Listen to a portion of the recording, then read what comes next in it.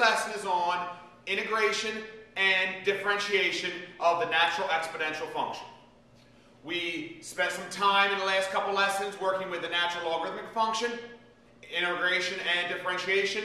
Then we just spent the last lesson working on inverse functions and the calculus involved with that. Now we're going to take the inverse of the natural log function, which is e to the x, the natural exponential function, and we're going to work with the calculus of that. So, the derivative of the natural exponential function, derivative of e to the x, is actually e to the x. So if y equals e to the x, y prime equals e to the x. That's one of the reasons, that's one of the great characteristics of this number e, that its derivative is actually its y value. The rate it's changing is the value of the function at that x point. So that, that's one of the ways that e is defined. Its derivative, the derivative of e to the x, is e to the x. And then the chain rule, derivative with respect to x of e to the u is e to the u times the derivative of the exponent. So e to the u, u prime. All right? So you bring down e to the u exactly the same, and then multiply at the end by the derivative of the exponent, similar to trig functions. You derive, you know, the derivative of cosine is negative sine of the same angle, then at the end, you have the derivative of the angle. So the exponent is going to stay the same as you go down, as you derive. So if we have y equals e to the 2x to the fifth plus 7, to derive that, you're going to take the same exact thing. y prime be e to the 2x to the fifth plus 7 times the derivative of that exponent. So it's 2x to the fifth plus 7 times 10x to the fourth. So a lot of times you write the x term in front. Order doesn't really matter too much.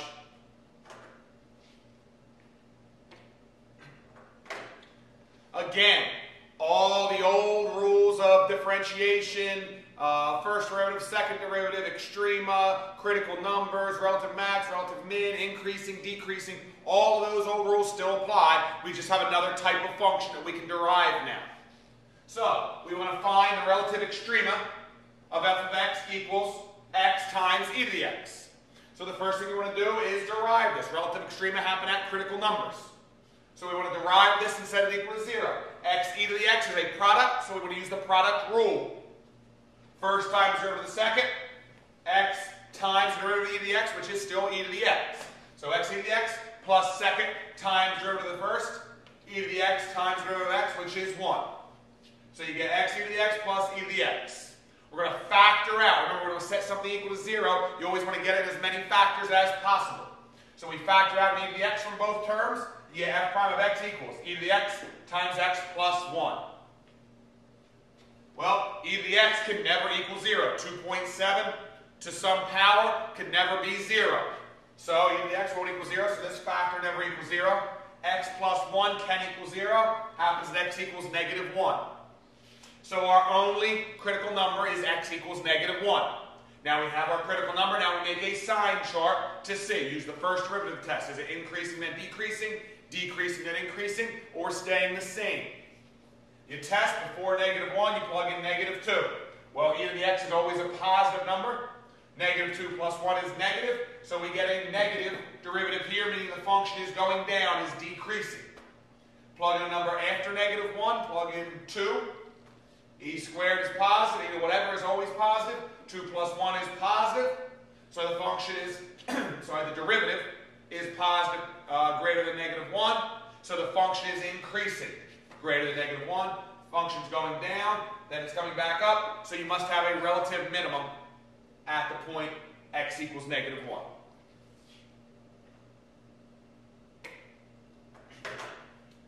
Now, integrating the natural exponential function.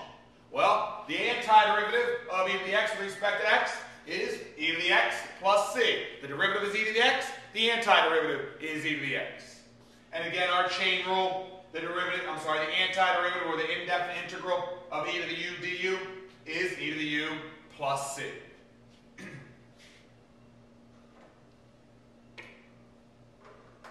so we want to integrate e to the 5x minus 3 with respect to x. First thing, use your u substitution. u is going to be the exponent here, 5x minus 3. du will be 5. Derive this, you get 5 dx. So I have e to the u, and I have a dx. So I want to divide both sides by 5. So 1 fifth du is the same as dx. So I'm going to take the indefinite integral of 1 fifth e to the u du. Anti-derivative I get 1 fifth e to the u plus c. Back substitute, e to the 5x minus 3 over 5 plus c. You could have wrote this as 1 fifth e to the 5x minus 3. Again, notation doesn't really matter as long as it's, uh, as long as it's equivalent.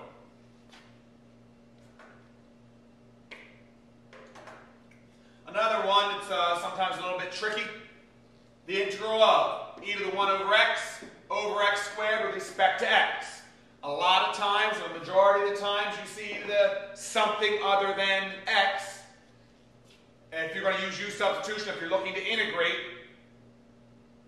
you're going to want to try or look to see if u equaling the exponent will help. So, let u equal the exponent. 1 over x, and the derivative of 1 over x is negative 1 over x squared dx. So, e to the u, 1 over x squared dx. So, I have e to the u, I'm left with 1 over x squared dx. du is negative 1 over x squared dx, so I put a negative over here. Is positive 1 over x squared dx. Now I can rewrite this integral in terms of u. The integral of negative e to the u du equals negative e to the u plus c, which equals negative e to the 1 over x plus c.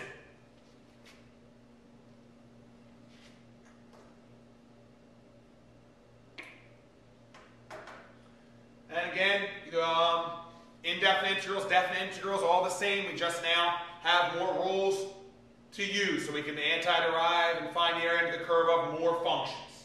So we have the definite integral from 0 to 1 of e to the x over 1 plus e to the x, all with respect to x. So we look here. Uh, it doesn't look like there's any simplification we can do. So the first thing you want to do is um, look and see, it's a rational, is a denominator to a power of 1.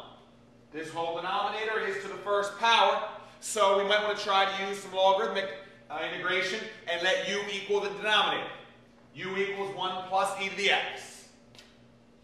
du is e to the x, dx. So this is 1 over u du. e to the x dx is du. 1 plus e to the x is u, so it's du over u.